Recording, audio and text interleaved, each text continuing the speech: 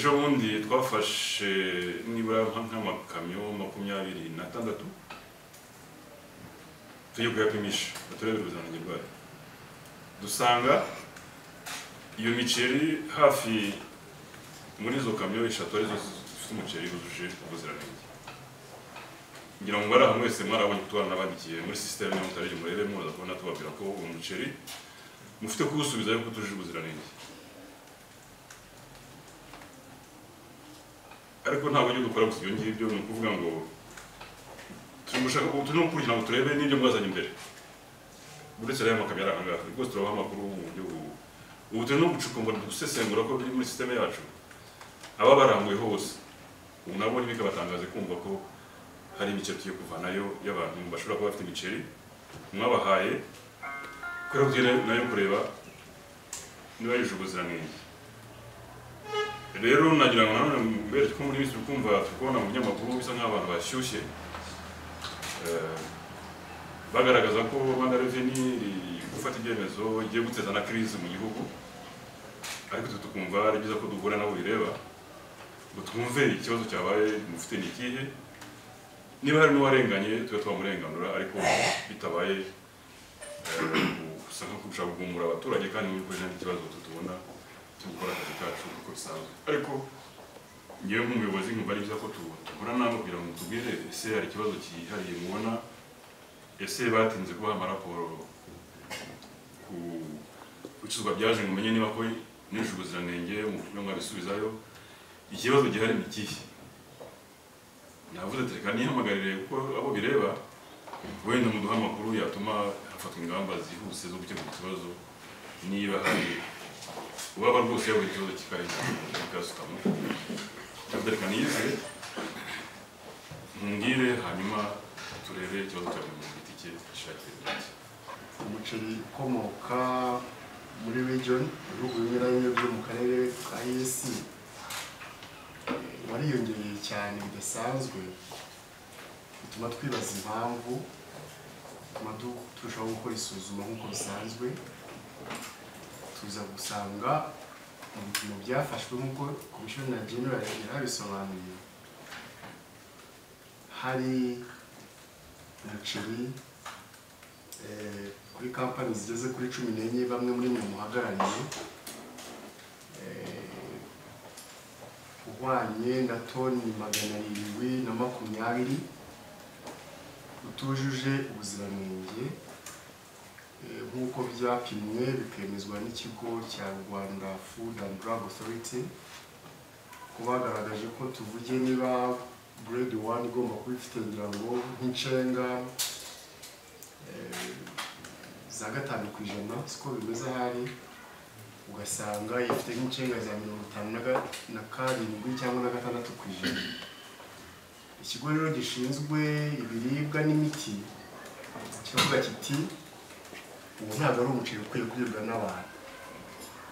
Niyo mpamvu batubwiye ko babandikiye ngira ngo benshi muri mwe babandikiye ejo kuko ni bwo companies nyinshi muri izo ngizo ibipimo by'umuceri wazo wa- wa- byabonetse ba- baranabandikiye ariko natwe dusanzwe twarabishyize muri sisiteme yacu nk'uko bisanzwe ku- kubadekarara abantu bababwira uko bihagaze ariko batubwiye ko babandikiye bababwira raporo zi- z'ibyo ngibyo kuri buri wese wowe wazanye grade ya mbere yagombaga kuba itarengeje wenda gatanu ku ijana dore dusanze ari mirongo ingahe ku ijana wazanye grade ya kabiri ya gatatu igomba kutarenza n'ibi pusantaje n'iyi dusanze noneho birengaho ikigero kingana gutya batubwiye ko babandikiye babibamenyesha nk'uko amategeko abibahera ububasha twe rero muri duwani icyo dukora kuko n'ubundi inzego zo mu rwanda du- dukorana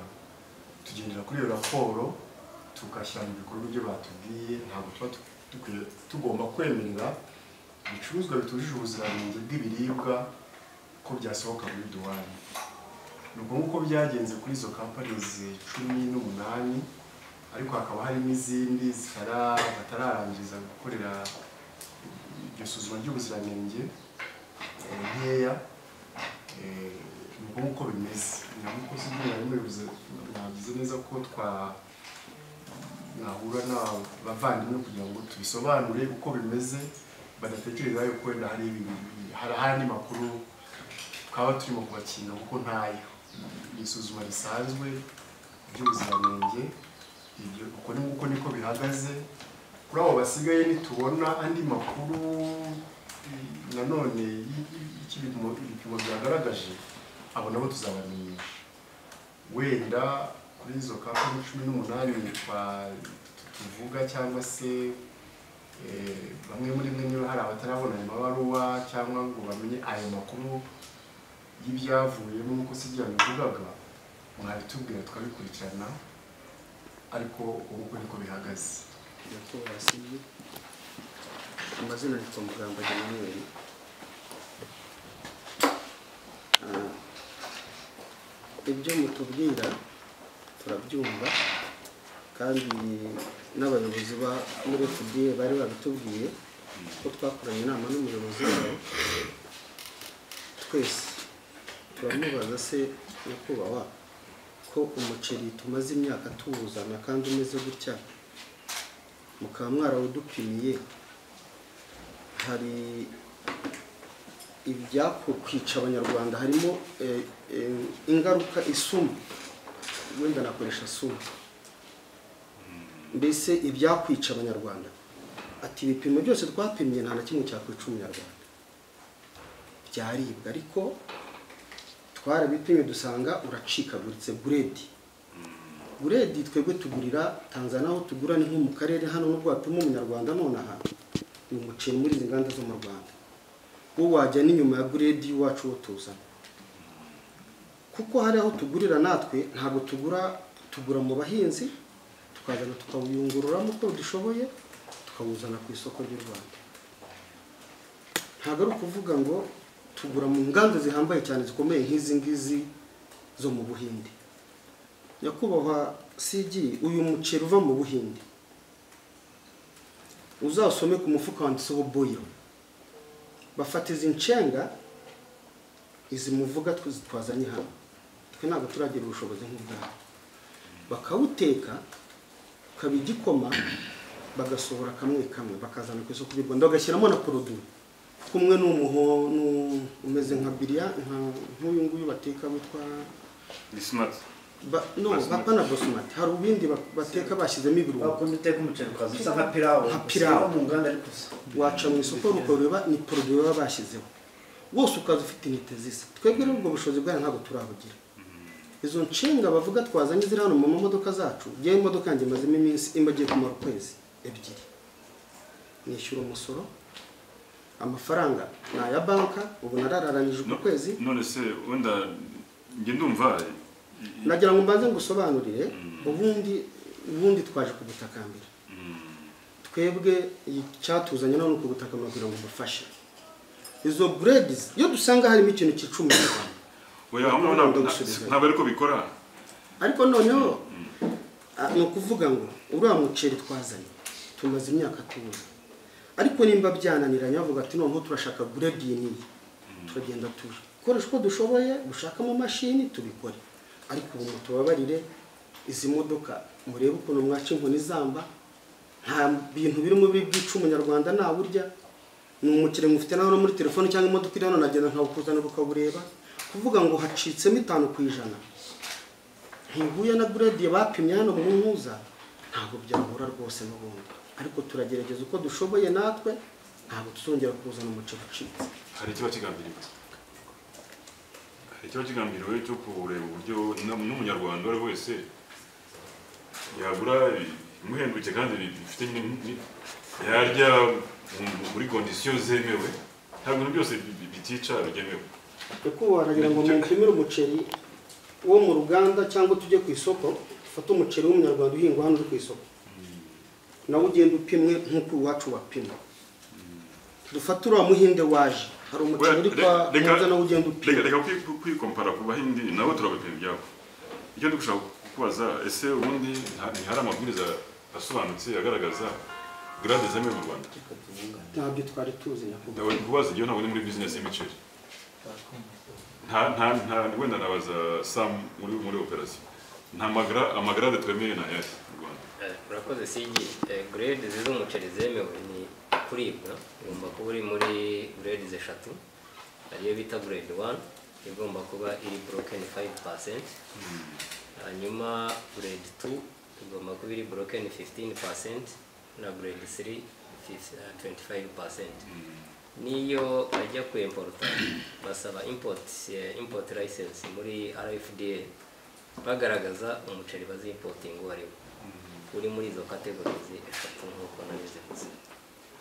So ni ukuvuga ngo murabizi kuko niba mwarabisabye biranditse ikibazo kikaba ese iyo mugiye kugura aho mugura bo babaha impapuro zigaragaza grade wabahaye Okay, aho tugiye kuwugura Mm. ah, ubundi twe tukagura n'abahinzi bawusaruye nk'uko najya kirehe ibyo bita padi Yeah. Mm. tukajyana ku nganda tukawutonora noneho iriya buredi iyo twazaga twayishyizeho. Icyo twasabaga ni uko izo buredi wenda nimba twarashyizeho buredi ya mbere bakaba bapimye bakabona buredi ya kabiri. Yemewe kuribwa wenda ntujye mu byo kwemera kuribwa no mu rwanda tubahinga umuceri sibyo dufite inganda zikora umuceri izo nganda na zo zifite standard zigenderaho. Bakaba bazi ko niba hari na grade 4 simbizi yo hasi cyangwa se hejuru sinzi ko babipima bakavuga ati ibyo ibi ni byo kurya by'abantu. Kuri izi grade izi ni iby'inkoko wenda bagenda ba- biba biri muri standard zemewe ntabwo rero wavuga ngo kubera ko ega n'inkoko turazirya kandi ziba zariye umuceri. Ntabwo nuvuga ngo uri umuceri zariye ntacyo waba. Ntabwo rero wa- wavuga ngo kubera ko ntacyo muhari bube turemera. Ngira ngo rwose mwemera aho ngaho niba ari amategeko yanditse ngewe nta- ntabihinduraho nta- n'icyo nabafashaho kindi kuko cyaba ari ikibazo gikomeye cy'amategeko cyo kwemera ko kubera ikibazo cyavutse tuyica aho rwose ngira ngo mugomba kwemera ko mwabikoze simbizi wenda byarabacitse muri aba experts niba mujya no gusya buriya ni kugira ngo ziwugrade ziboneke buriya hari ukuntu ba- ba- bakalibratinga n'imashini kuko buriya iyo ubizanye n'impunyu izo nshenga aba arimo ndariswe ko hazamo na ziriya sonderi buriya ni cyo biba bivuze mfite bikongera ibiro umunyarwanda akaba yagura ibiro byinshi kandi nyamara yaguze ifarini ya sonderi na yo iba irimo buriya bitewe n'ukuntu bawugosoye. Kuko buriya uko bawugosora haba hariho za twa tuntu tatami dufite imyenge mitoya iminini naho amagrade ava rero grade yemewe kuribwa nyine waguze umuceri nyawo buri bifite nyine intete gusa zifite ukuntu zimeze ukuntu uko bimanuka bicishamo nu- n'utwo duto duto nyine biba birimo n'umwanda wundi wenda tuzaba wahita ukwicara ukoresha no guteza ibindi bibazo by'ubuzima. Niyo nkibwira ko aho ngaho ni ikibazo cy'ubuzima bw'abanyarwanda ku ruhande rumwe noneho hari na standard zanditse mu mategeko dukwiye kuba tutanyuraho rwose aho ngaho ubwo muremera ko mwakoze amakosa nyine ubwo nyine wenda ntabwo twabana ahubwo twabasaba ko mubisubizayo nk'uko amategeko abiteganya iyo bimeze iyo bimeze gutyo nk'uko mubisobanura nanone niba ufite license icyangombwa kikwemerera kuzana umuceri mu gihugu. Kikwemerera ko ugiye kuzana wenda umuceri uri mu cyiciro cya mbere akaba ari cyo cyangombwa ufite. Noneho ukazana umuceri uri mu cyiciro cya kabiri cyangwa icya gatatu grade ya kabiri cyangwa iya gatatu. Noneho bakakubwira bati ibyo ukoze binyuranye n'ibyo waherewe uburenganzira bwo kuzana icyo gicuruzwa mu gihugu. Muntu ntabwo rero ukwiye gusubira inyuma ngo abe ari kibazo.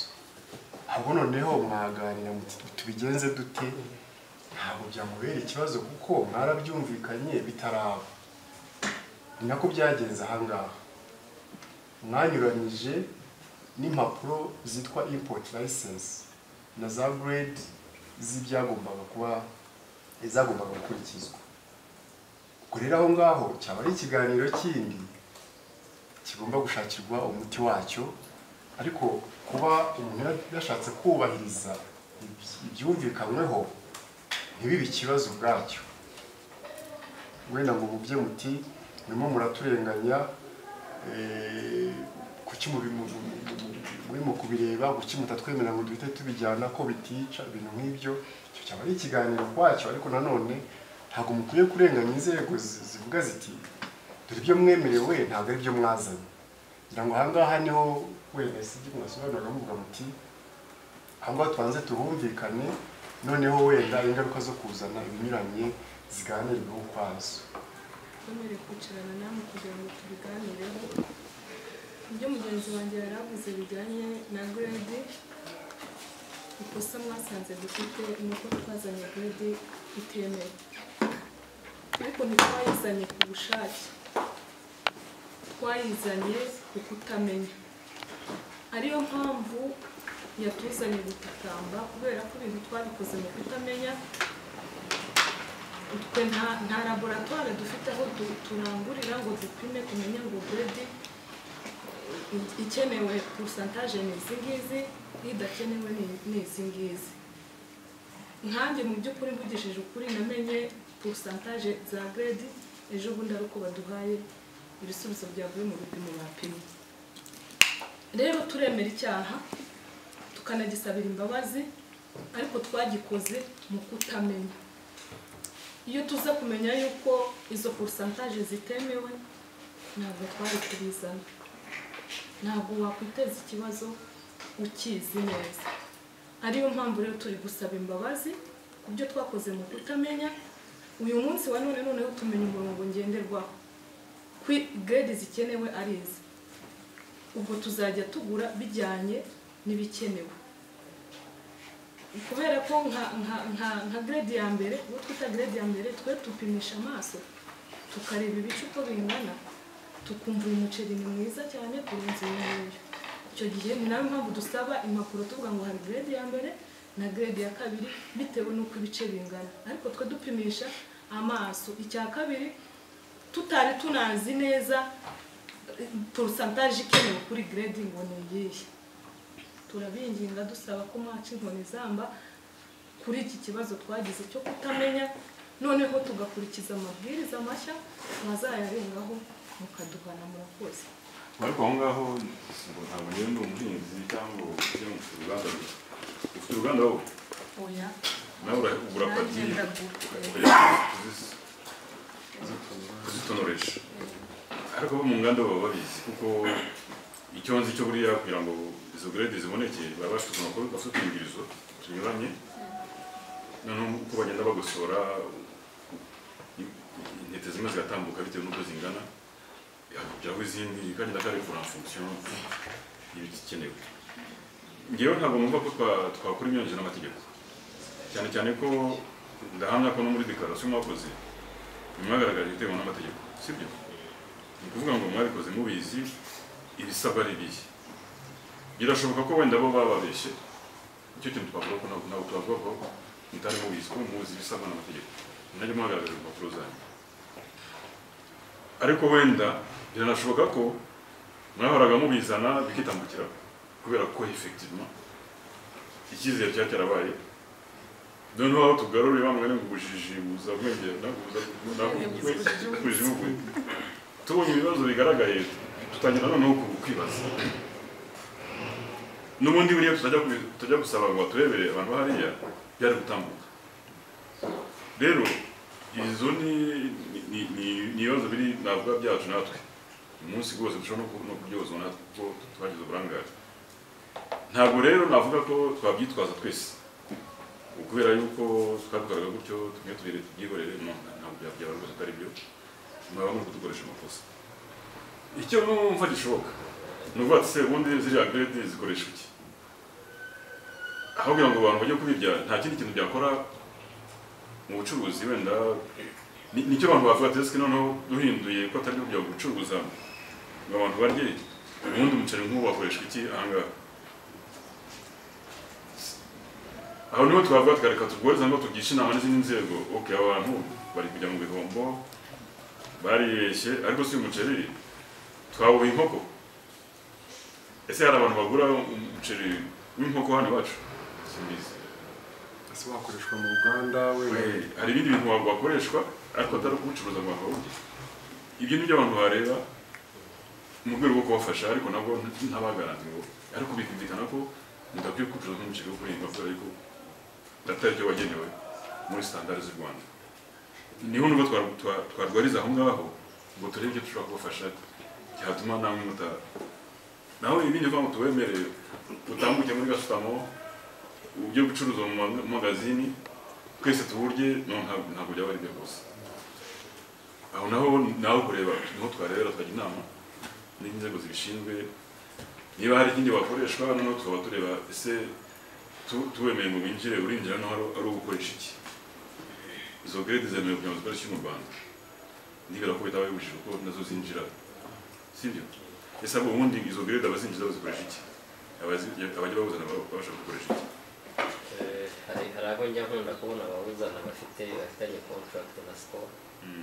Uri buri broken 100% turi abantu bahereye ku ikarito kujya ku ki nayo ni. Amateka impamvu turimo turabona aho ku igihombo cy'umucuruzi mu ni ukuri kuri twe aho bigana amafaranga ni aya banki kunyibonda byumva aho bigana kuko nta muntu ufite uzabiryaho inkoko ntawe ntiwabirya iby'inkoko zikamyo twakodesheje zifite amadolari magana abiri ku munsi hashize icyumweru cyane ibihombo ku rundi rwego bino bintu nk'uko abanagiye bivuze tumaze imyaka ariko biza tugura n'abaturage tugura n'abaturage buri muturage ufite umurima urenga hegitari eshanu afite akantu kitwa akamashini kitwa ara- arakoboresha mu bakobora akagizana aka- aka- aka- akayungurura no kuyungurura akavuga ngo uyu nguyu udacitse cyane. Ni nomero ya mbere. Ni ukuri. Uyu nguyu uri mu icemere nomero ya kabiri ibi niko bi- bimaze igihe bimba nk'uko ubona umuceri w'umunyarwanda umeze ku isoko. Ni ukuri. Turagura n'abantu bari ku rwego rwo hasi. Njyewe navugaga yuko indokotsi ntabwo nasubirayo. Ntajya n'ahandi nkahinga. Kugira ngo kuko ni ukuri kw'imana. Umuntu wari ufite miliyoni ijana nayo noteri ijana ari bukuremo yabisubiza tanzania yabisubiza ntabwo byakunda uko twazanye umuceri twaguze umuceri tuwuguze n'abantu tuzi ko tuzana umuceri wo gukora ni ukuri pe turabasaba ngo mutwumve mwumve niba nayo mpamvu turi turi kumwe na fda twabaje nk'uko byara ibi bino bintu usanga byica abantu nta nicyo twavuga twamenya ko natwe twakoze amarorerwa ariko niba bitica abantu fda mutubabarire nabo baratubwira bati rero twebwe turakora ibyacu tuzabereka ahandi muzajya gusaba imbabazi ni ukuri kw'imana nta n'umwe wari ugambiriye kwiba imisoro kuko bino bintu ntabwo bisora mwadukureho umusoro muvuga ngo abaturage babone ibintu bihendutse. Natwe impamvu ubonaga zazagana nyinshi ari umuceri ureze umwamanuka cyane ku buryo umufuka w'umuceri ugura ibihumbi icumi by'amanyarwanda. Kuko twari dufite igitekerezo cyo kubabwira ngo umusoro muwusubizeho. Kuko bejeje umuceri ushobora gucuruza imyaka umunani badahinze ni mwinshi cyane pe. Ari na cyo kibazo bagenzi bacu bazana umuceri w'umuhinde. Bagize. Bagize mbere yuko baza kuturega ba- babaje kubitubwira. Niba udahagarika kuzana umuceri tugiye gukora iki? Bose barabitubwiye rurango yarabitubwiye mu afurika yarabitubwiye. Bose n'abavuga n'amazina twahuye nabo baratubwira ati umuceri muzana impamvu mudukata nuko muzana umuceri. Bafite n'amakuru. Abo muri bo bafite amadepo hariya bafite bazi ko n'umuceri bajya bawuzana. Bazi ko umuceri bafite kandi koko natwe umuhinde turawufite. Umuceri w'umuhinde ukurikije uyu munsi tudahagaritse umutanzaniya nta muceri wakongera kuva hanze ya east africa. Uko niko bimeze pe niyo urabona uyu muceri muvuga niyo twavuga ngo twebwe tuzane 100% utavunitse nako ijana ku ijana cyangwa mirongo rimwe ku ijana broken. Umuhinde waza mu mezi nk'atatu mu kwezi kwa gatandatu. Umuceri w'umutanzaniya wagura hano ibihumbi cumi na bitatu. Kuko pe ku bihumbi bibiri magana atatu kilo ku muhinzi bamaze kugura ingingo ujya ku gihumbi magana atatu uyu munsi. Hamaze kuvaho kimwe cya kabiri hafi. Mu tu- turi abantu bumva turi tayari gukora ibyo mushaka ariko mudufashe tugabanye igihombo. Ko njyewe buri- ndarota buri kanya banteje cyane amafaranga n'ayapanga nuko imitubabare mutwumva ntabwo tugiye tugambirira ikintu cyakura u Rwanda. Mumbabarire ngo abanyamakuru y'amarira yanjye kumuyakemura nta kibazo. Mutwumve pe. Mutwumve mutwumve turimo tu- turarangiye. Turarangiye. Amafaranga nta n'umwe. Ufite amafaranga mirongo icyenda ijana ku ijana n'aya banki. Mu by'ukuri uyu munsi ni tevi nta n'umwe ufite amafaranga yo kwishyura. Twararanguye byose byaraje biri hano. Hari ibyo dufite inyuma twishyuye. Ibyo byo ibyo byo ntabwo tukeneye kumenya bariya bazatwambura ariko mutubwire buti nushaka mutwe muhagarike kuko ntabwo izo standard z'abatanzaniya zizaboneka. Ni ukuri ntabwo zizaboneka ntazo nganda zihari. Nta- tugura n'abaturage bari mu Rwanda noneho ubona dufite amahirwe u Rwanda rwateye imbere. Dufite n'abajyanama beza mutugira inama. N'inganda za hano abantu zo zirakurikira nta FD iba hariya nta ahantu tugura ni mu birometero magana atatu ku mupaka. Ntabwo FD iva Dar es Salaam ngo ize hariya yabo. Nta nta nta ukubeshya yuko tugura n'abantu bazima ntabo nanga inganda nzima ntazo ni ukuri pe. Eh, ni ukuri pe ibishoboka byose. Muduhe warning ya nyuma. N'ubundi niba naramukoze tumaze imyaka tuyikora commission turi tayari guhinduka ni ukuri turapfukamye turasaba imbabazi. N'ubu turapfukamye turasaba imbabazi pe. Uyu muceri twawuzanaga waguraga make abaturage bakagura. Bose niyo mpamvu ubona umuhinde wari wahagaze. Muduhe amahirwe ya nyuma rwose ndabingiye muduhe amahirwe ya nyuma turatakamba turabatakamba muduhe amahirwe ya nyuma ntabwo ntabwo twagambiye nta kwiba umusoro wari urimo ko ntibisora kugira ngo muzi ko mu rwanda muranabizi n'uyu munsi ntabwo remerera muzi ko hari abazi imashini tw'umurwa turi muri tanzania mubizi ko hano baziciye imyaka n'ishize ari nk'ingahe kuko ikizamya kubikoresha hariya mukajya kugura kandi muzi ko mu rwanda deja binabujije kumva ko na byo ni indi kosa ry'akabiri muzi ko kubera ko hano leta ko nyine karite iba nziza. Uyu munsi ziriya mashini mwibuke ko kera rwose habayeho umukobwa wo kuzica ndabeshya mubizi kubita imujyana mukajya inyuma kujya ku gushaka n'umuceri ukozwe n'imashini zo hanze kandi muzi ko mu rwanda rwabyo ziriya mashini zitemewe uburyo bwo gukoresha umuceri nibwira ko ibyo ni ibintu biri kugira ngo twumve akababaro kanyu ariko sitira amategeko aradukumira mu bintu bigomba kubahirizwa sinzi icyo twakora ikintu twebwe twebwe nka rwanda reveni ntabwo dushinzwe karite ntabwo najya kuvuga ngo ndende kuko karite yinjira kubera ko ari mategeko yewe twebwe turayimplementinga gusa bikorwa ibisabwa n'amategeko niba kimwe n'izindi produit zo kujyana bakajya kudukorera sample bakadukorera yaba ari muri RSB yaba ari muri Rwanda FDA no muri RICA buriya nabo bafite kujya baturera rimwe n'ibyo tugiye kwigiza kugira ngo turebe niba koko byujuje ubuziranenge busabwa n'amabwiriza ndetse n'amategeko mu Rwanda iyo dusanze byujuje ntabwo tu- ntabwo tubitindaho ariko rero ibindi bibazo biri nyuma yabyo ni amarisike muba mwarafashe namwe mwakaba mufite na bigiro gufata aya marisike ingaruka zayo bibaye bizagenda bite nanjye mbashimiye nitwa kagabo haruna ntabwo ndi bujye kure cyane ibya bagenzi banjye bambanjirije. Icya mbere ni ugutakamba nk'uko twifuje yuko twahura kuri iki kibazo twahuye na cyo natwe cyaradutunguye. Muri uko gutakamba nk'uko abavandimwe babivuze turi mu gihombo gikomeye mu imodoka zanjye zirimo hano zimaze ibyumweru bibiri n'iminsi ibiri ariko mbanza banza tubwire urumva se zihari kubera ko ari ukurenganya cyangwa tugukora akazi kacu natwe. Ntabwo hari ibintu byo najya niyo mpamvu nanjye nabivuze ngo nimuwe ntimugaragaze nawe turi mu makosa kandi turi gukora akazi kacu natwe. Niyo aho mpamvu- bose tuba tuvugana aho ngaho. Aho ngaho nda- ndabisubiramo turi gutakamba kuko muri mu kazi muri mu nshingano zanyu kandi muri ababyeyi muragomba kuturebera mukarebera n'abanyarwanda. Nk'uko dukora ku kazi k'ubucuruzi dukora umuceri twakuraga tanzania izi ngorane ni bwo bwa mbere duhuye na zo.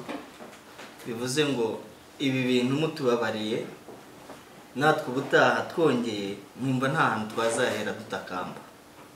Rero niyo mpamvu mwatwigishije twumvishije impanuro. Namwe murebe ibishoboka byose. Mwe niba nta ntacyo mwakora niba mwatugira n'izindi nama nk'uko muhora muzitugira niba hari n'ahandi twanyura tujye gutakamba kuko turapfuye. Bikomeje gutya ntaho twaba tugana wa mugani usibye guteza ibyacu ugasanga havutse n'ibindi bibazo birenze ibingibi rero tudatinze wa mugani watugiriye impanuro waduhaye inama twiyemeje ko natwe twiyemeje gufatanya namwe nyuma y'aha ngaha. Hazagira undi muntu wagwa muri iri kosa kubera ko twasobanukiwe twanabimenye ibihano tukaba twabyitegura tutaburanye ni cyo nanjye nagira ngo nongereho nyakubahwa se ubundi ubu wabaza nta zindi ziri mu nzira ziza cyangwa ibindi zindi gahunda mwakoze se ubundi ubona ubwo tuzahora muri ubwo se Twa- twazihagarika nyakubahwa igihombo turareba ibiri mu gihugu ibiri hano mu gihugu murakoze nanjye ni mirongo irindwi mirongo itatu n'eshanu ijambo eshanu njyewe ni ijana na mirongo ine njye ni mirongo irindwi muvuge barabumva nta kibazo kuri mirongo irindwi ubwo ni byose ni byamaze kwinjira none se ko ko ibirango mwakoshinga izo nganda zibikenera kugira ngo zibigure kuko nta kuko byo kubivanga abanyarwanda baribye byo numva cyaba ari ikibazo izo nganda mwazagiye mubona zishobora kugeza ntabwo zabifata ubundi mwese mu- mu- mu- muzitwara mu isoko cyangwa muzitwara mu nganda mu maduka yacu dufite amaduka